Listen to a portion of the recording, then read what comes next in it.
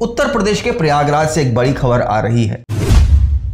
प्रेमी ने प्रेमिका को मारकर सेप्टिक टैंक में छिपा दी लाश। ऐसे खुला हत्या का राज। देश में इन दिनों लिव इन पार्टनर के द्वारा महिलाओं की हत्या के मामले लगातार बढ़ रहे हैं। कहीं शरेआम लड़की को चाकुओं से मारा जा रहा है तो कहीं हत्या करके उसके शव को फ्रिज में रखा जा रहा है या कुत्ते को खिला दिया जा रहा है।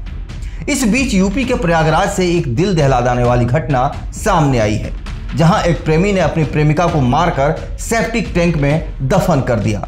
हालाँकि आरोपी को गिरफ़्तार कर लिया गया है। आइए जानते हैं कि पूरा मामला क्या है। दरअसल पूरा मामला यमुना पार इलाके में करछना के महुआ का है, जहाँ 24 मई को प्रेमी आशीष कुमार गौतम ने अपनी 35 साल की प्रेमिका की हत्या कराकर उसकी लाश को मकान के सेप्टिक टैंक में छिपा दी थी।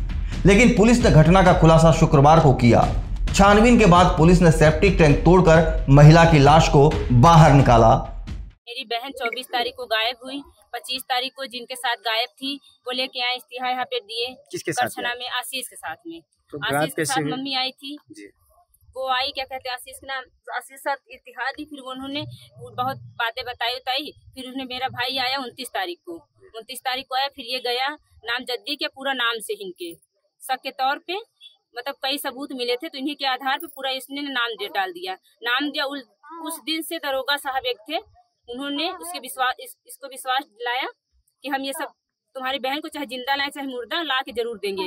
इतना मेरे पे विश्वास करो। तब से आज तक चला रहा है आज सौ मिला है मेरी बहन का। तो बहन आपकी आशीष के साथ कितने दिनों से रहती थे? मतलब अरे मेरे? पापा एक्सपायर हुए तब से ही उनके साथ? में है। सन दो हज़ार सोलह 2016 से ही। बहन क्या करती थी? बहन मेरी सिलाई भी करती थी पार्लर भी करती थी। तो क्या आशीष किस क्या कह के इनको साथ में रखता था? अरे रह, कहते थे कि हम शादी करेंगे हमेशा इनके पूरा परिवार जानता था पूरी बहन जानती थी पूरी पूरा रिश्तेदार इनका जानता था कि मेरी बहन से ये शादी करने के लिए बोल रहे हैं हमेशा से। हमारे हम लोग खुद ही जानते थे मेरा पूरा रिश्तेदार पूरा परिवार सब जानता था कि ये शादी के लिए भर, भरमा रहे हैं। और 24 शादी तारीख कहने के कह भी रहे थे पहले फरवरी में कहे फिर उसके बाद अब दो महीने बाद कह रहे थे करने के लिए शादी। जी। तो 24 तारीख को जब ये घर से निकली तो क्या बताई कि मैं आशीष से मिलने जा रही हूँ या आशीष ने हमको फ़ोन किया है? हम नहीं थे हमारी बहन से बता के गई हैं। जी। तो जानकारी तो हुई होगी हाँ, कि हाँ हम जानकारी उनको हुई है। तो उसके बाद ये 26 तारीख को माँ को बुलाया फिर उनसे तहरीर ली गई। क्या मामला पूरा? यही तहरीर दी क्या है कि चलो हम तुम्हारे बहन को नाम से एफआईआर कर दे रहे। हैं। गुमशुदे का एफ़ किए फिर उसके बाद मम्मी गई इनके साथ में काफ़ी बातें हुई वहाँ पे।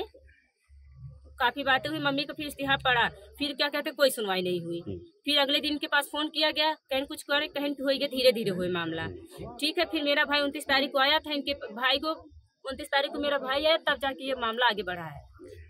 तो आज सेफ्टी टैंक में लाश पाई है जो हाँ, जानकारी हाँ, मिल हाँ, रही है। हाँ, आज लास्ट है। क्या नाम है आपका परिचय जाना? हमारा नाम है पान केसर क्या संबंध है इनसे? मेरी बड़ी बहन है बड़ी दी है। सबसे बड़ी वही बहन थी हालाँकि पुलिस ने आरोपी आशीष और चार अन्य को गिरफ़्तार कर लिया है। पुलिस ने बताया कि महिला और उसका प्रेमी आशीष करीब आठ साल से लिव इन में रहते थे।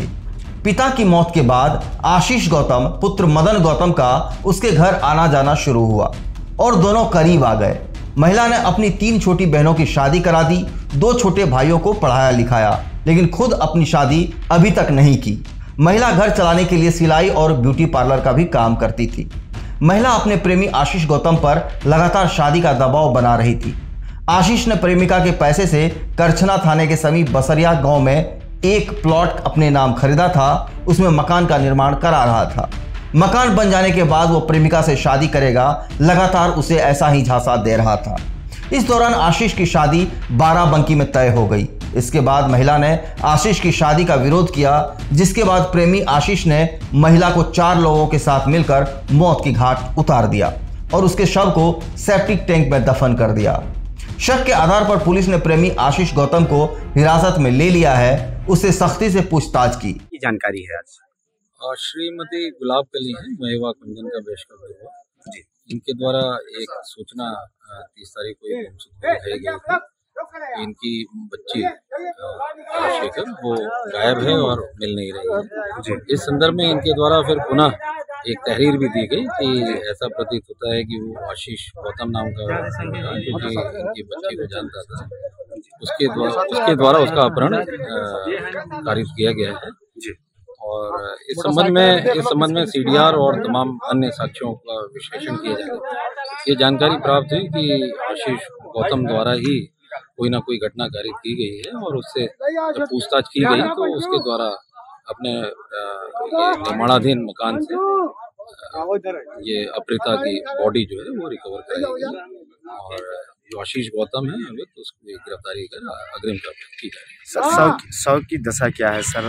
क्या कुछ शव मिला? तो बहुत ज़्यादा ऐसा खराब नहीं है वो मतलब देखने से प्रथम दृष्टि जैसा उसने बोला है कि गर्दन दबा के इन लोगों ने उसकी मृत्यु की है ऐसा ही लगा और कोई नहीं।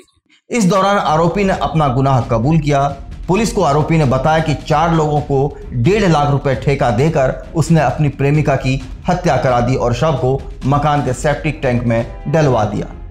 इस चैनल को देखने के लिए आप इसे लाइक शेयर और सब्सक्राइब करें।